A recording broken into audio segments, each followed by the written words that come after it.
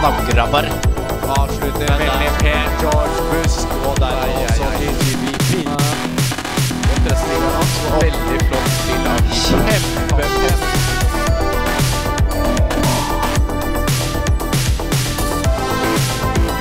DDVP.